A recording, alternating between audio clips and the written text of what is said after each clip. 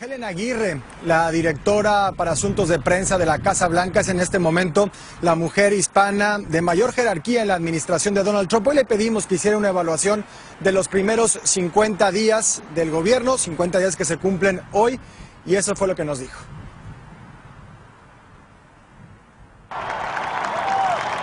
Un inicio casi perfecto. Esa es la calificación que Helen Aguirre tiene para los primeros 50 días de la administración Trump.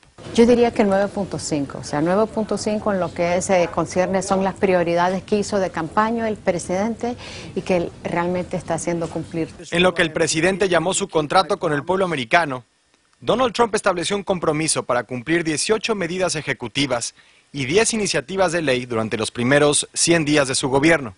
A la mitad del camino, Trump ha cumplido con menos de la mitad de las órdenes que prometió y apenas con una de sus 10 prioridades legislativas no ha tenido el equipo que él ha necesitado para poder trabajar y forjar muchos de estos proyectos y con eso te hablo del gabinete y desafortunadamente los demócratas usando mecanismos parlamentarios han demorado lo que ha sido el eh, proceso de que se puedan eh, confirmar todos los miembros del gabinete. Y aunque el Senado tomó más tiempo para confirmar en su totalidad el gabinete de Donald Trump, existen miles de puestos para los que no se necesita el visto bueno de la Cámara Alta. De hecho, de las 500 posiciones consideradas clave para el funcionamiento del gobierno, el presidente solamente ha nominado cerca del 10% de los candidatos a llenar esas vacantes. ¿Eso no afecta de alguna forma su capacidad para gobernar en este momento? Ciertamente que uno necesita que, que tenga el gobierno completo y un gobierno cuando entra una nueva administración hay 4.000 plazos que hay que, que hay que hacer cumplir.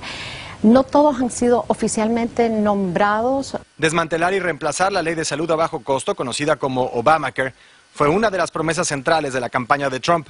Pero la resistencia que ha encontrado la iniciativa respaldada por la Casa Blanca entre su propio partido representa la primera gran prueba para la habilidad política de Trump.